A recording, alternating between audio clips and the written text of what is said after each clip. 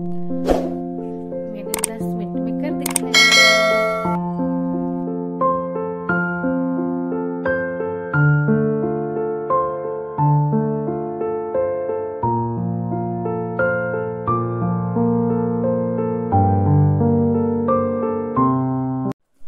नमस्ते, जय Shri Krishna. Welcome to my channel कैसे हैं आप सब? और ये है सैटरडे शनिवार की सुबह का वीडियो है और ना पीहू के जो है टिफ़िन तैयार हो गया है क्योंकि शनिवार को मैगी पास्ता कुछ भी स्पेशल जा सकता है तो मैगी ही ले जाती है। नमकीन और बिस्किट भी थोड़े से रख दिए हालाँकि बिस्किट वह खाती नहीं है मीठा, पर मैंने कहा फ्रेंड के साथ क्या पता खा ले। वो चली गई, फिर मैं नहा के आई थी, कपड़े आज मैं बाद में धोऊँगी पहले मैं नहा लूँ, मैंने कहा, मैं नहीं नहाती हूँ तो फिर ठाकुर जी भी नहीं नहा पाते हैं। इसलिए पहले मैंने उनकी सेवा पूजा मुझे ठीक लगती है, नहाने के बाद बाकी काम धीरे धीरे होते रहते हैं। और ये शनिवार है तो जो शनिदेव जी तेल लेने के लिए आते हैं ना तो बस उन्हीं को मैंने तेल रखा है। और जो घर के जो भगवान जी है, ठाकुर जी, उनको नहलाया है, ठाकुर जी की सेवा पूजा हो गई है। भोग लग गया है, अब जब खाना बनेगा तो वह भी लग जाएगा।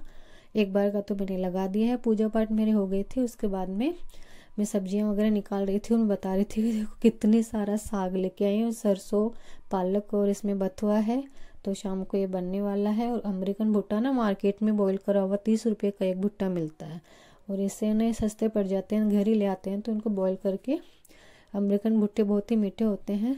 तो इस तरह से ये सारी सब्ज़ियाँ मैंने निकाल दी है। और परिंडे में पानी भर दिया है धो के बढ़िया माच माच करके और सब सेट कर दिया है। और फिर उसके बाद में मैं आ गई हूँ किचन में। आज बनाएँगे भरवा बैंगन। तो मैं कैसे बनाती हूँ भरवा बैंगन रेसिपी मैं आपके साथ में शेयर कर रही हूँ। बैंगनों को ना मैंने जो है पहले से धो के अच्छे से पोच के और चॉप मतलब इसे कट लगा दिया, जैसे भरवा बैंगन बनाते हैं। तो इसमें मसाला भर के फिर तेल में छोंकते हैं, लेकिन मैंने पहले इनको फ्राई करके निकाल लिया है। और एक आलू डाल दिया था प्यू के लिए लंबा लंबा चॉप करके और फिर बारीक कटे हुए प्याज डाले उनको चलाने के बाद में मैंने अदरक और लहसुन डाला है, कूट के डाला है मतलब। और फिर ना टमाटर डाल दिया है, थोड़ा सा नमक डाल के इसको ढक देंगे ताकि जल्दी गल जाए टमाटर। क्योंकि ग्रेवी तो बनाई नहीं है, पीसा नहीं है, बारीक बारीक चॉप है सब चीज़। और फिर बस ये हल्दी, धनिया, मिर्ची अपने स्वाद के अनुसार जैसे अपन डेली डालते हैं एक एक चम्मच वही सब डाल के मसालदाने के मसाले और एक चम एक गिलास मैंने यहाँ पे डाला है पानी। तो भरवा बैंगन में मैंने पानी डाला है और इस तरह से इस पानी के अंदर इसको ढक के रख के और इसको मतलब ये देखिए सारा पानी सूख गया है और ये बैंगन भरवा भरवा हो गए हैं, ग्रेवी वाले बढ़िया। तो मैं वही दिखा रही थी कि बैंगन की सब्ज़ी बन गई है और इधर आटा लगाया। आज मैंने आधा गेहूँ का और आधा ना बाजरे का मिक्स करके लगाया है। तो वैसे मिक्स वाला ही खाते हैं। तो हम टोटल बाजरे की नहीं बनाएँगे क्योंकि सूखी सब्ज़ी है ना तो गेहूँ का मिक्स किया है। तो दोनों आटा लगा के भिगो के रख दिया है। पहले मैंने रोटी बाद में सेकूँगी। और फिर मैं जा रही छत पे कपड़े धोने के लिए। बस कपड़े का ही काम रह गया था। तो मैं पूछ रही थी, ये भी धोना है, ये भी धोना है। सर्दियों में कपड़े बहुत ही ज़्यादा हो जाते हैं और एक दिन ही धो तो दूसरे दिन ज़्यादा ही ढेर लग जाता है। तो जो है, ऊनी कपड़े ज़्यादा हो रहे हैं विंटर की वजह से।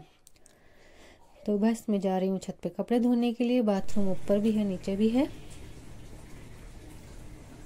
जब तक पानी भर रहा है कपड़े गल रहे हैं तब तक थोड़ी सी धूप खा लेती हूँ क्योंकि मैं और उसके बाद में ना पानी दे दूँगी सर्फ। जब तक सर्फ में मतलब पानी गुनगुना पानी करके सर्फ में कपड़े गलाएँ थोड़ी देर क्योंकि फिर हाथ से धोऊँगी मैं और ड्राई कर लूँगी क्योंकि धूप जाने ही वाली है इसलिए।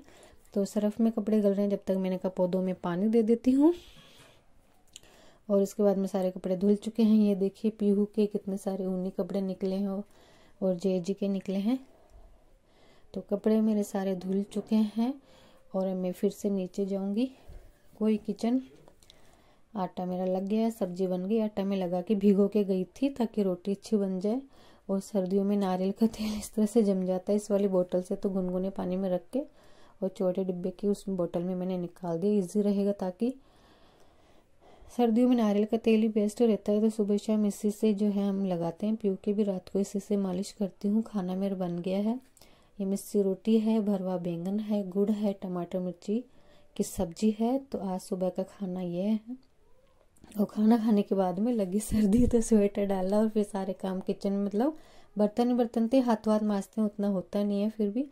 नीचे से फिर होकर ऊपर आई और मुझे सिर्फ़ दस मिनट के अंदर कपड़े सारे फोल्ड करने थे क्योंकि पीहू का टाइम हो रहा था जाने का तो दस मिनट के अंदर मैंने फटाफट से कपड़े फोल्ड कर लिए हैं। कुछ इस तरह से आज का वीडियो था तो वीडियो को लाइक कर लेना शेयर कर लेना और सब्सक्राइब नहीं किया तो कर लेना। नेक्स्ट वीडियो मिलेंगे, तब तक बाय